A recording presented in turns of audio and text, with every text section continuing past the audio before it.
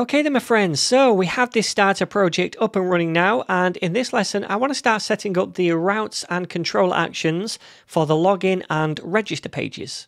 Okay then, so first up I want to set up the routes for the register and login pages, so head to the web routes file to do that.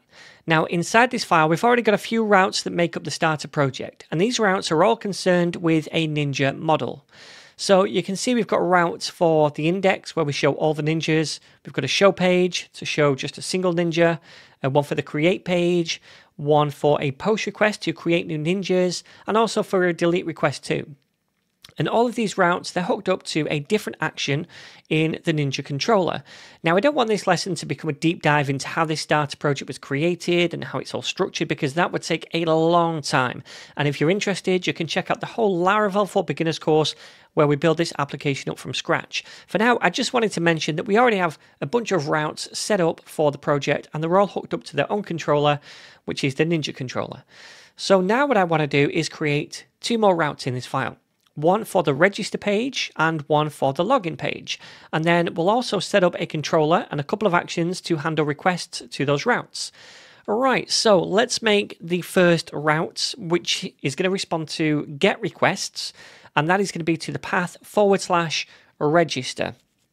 And as a second argument, we want to specify the controller and action that handles requests to this route but we don't have a controller made for this yet, so for now let's add just an empty array as the second argument, and we're going to come back to this.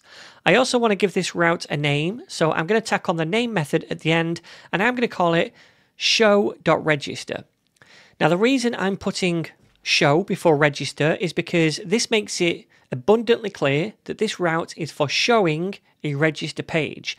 Later, we're going to have a route called register without show in front of it, and that's going to be for handling post requests to the same URL. Now, you don't have to name them this way. I'm just doing it so it's very clear what each route does when we're using the route name, okay?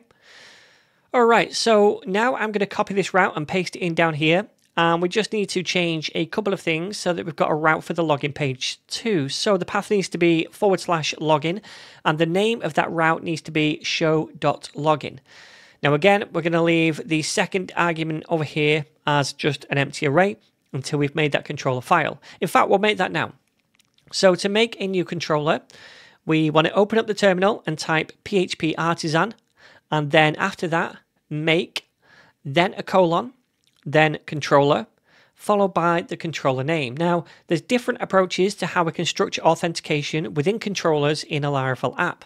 Some developers, like me, like to split the authentication logic into multiple controllers, like a session controller for managing sessions and a registration controller for managing user registration.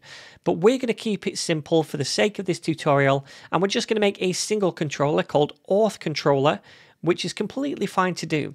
And then all the authentication logic for serving views, handling login, sign up, and logout requests is going to live inside this controller. All right. So once that's made, head to the app folder and then find that new controller file. So then we only need two controller actions in here for now, and they're the actions for the register route and the login route. Now, normally when we have a controller for some kind of resource like blog posts, or in our case, it would be ninjas because that's what our website shows, we'd name the controller actions according to a specific naming convention. So they'd be called index, show, create, store, edit, update, and destroy. And these are the actions already made in the Ninja controller for the Ninja resource.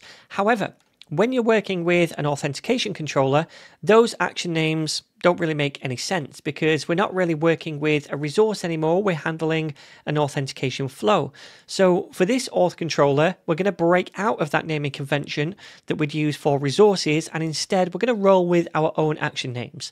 Now they could be whatever you want as long as you're consistent and it makes sense. But we're going to make one called show register to handle the get request to register routes. So let's make that public function right here. So we'll do that. And then for the get request to the login route, we need to make another action. And this time it's going to be called show login. And both of those action names, they make sense to me because they describe exactly what we want to do, right? We want to show the register page and we want to show the login page. All right, then. So inside the show register one, we want to return a view. So let's do that. And we've not made a view for this yet, or the login page, but we'll do that shortly. For now, let's call the view auth.register, which means the view file name needs to be called register and it needs to be within an auth folder inside the views. All right, and then inside the show login one, we also want to return a view, and this time we're going to pass in auth.login as the argument. All right, then, so once that's done, we can hook the routes that we just made up to this controller and these two actions. So back in the routes file, let's come over here and I'm going to start typing auth controller until I see this namespace right here. I'm going to click on that to make sure we use it.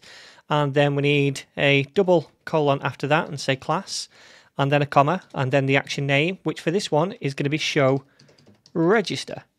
All right, so let me just copy this thing right here, all of this, and I'm going to paste it in down below. And then we'll just change this to show login. So now when get requests come into these paths, we're going to fire those controller functions. And in turn, they're going to return views, which we now need to create. So let's go to the resources folder, then views, and I'm going to create a new uh, folder in here called auth because we said auth.register, auth.login. So that means they're found in an auth folder. Inside here, let's create a register.blade.php file and then we'll just do a very, very simple template. In fact, we want this to be surrounded by the layout component first. So let's say x hyphen layout to do this, and we need a closing tag as well, x hyphen layout. And that means we're going to get the nav bar and stuff at the top. Inside here, I'm just going to do an H2 for now, which will say register. We'll change this later. And also, we'll spell this correctly.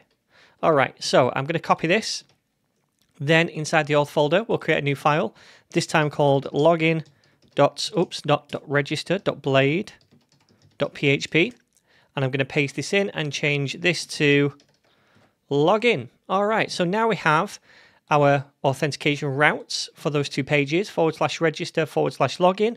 We're hooking them up to an authentication controller using these two actions right here. And inside the controller, we return the register view and the login view, which are right here. Dead simple views inside the layout. So let's see if all this works so far. In fact, before we preview this, I want to do one more thing, and that is to come to the layout file. And inside the navbar where we show all the links, I just want to paste in two more links, and they're to the new pages. So two anchor tags. The href in the first case uses the route function to show the route based on the route name. So that's show.login. Remember over here, we said the name was show.login and show.register. So the first one, oops, goes to the login route. The second one, show.register, and that's to go to the register route. They both have a class of buttons, so they're going to look like buttons in the navbar. All right, so now let's see if this works.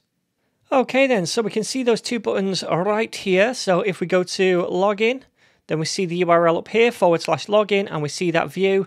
And if we go to register, yep, everything seems to be working. Awesome.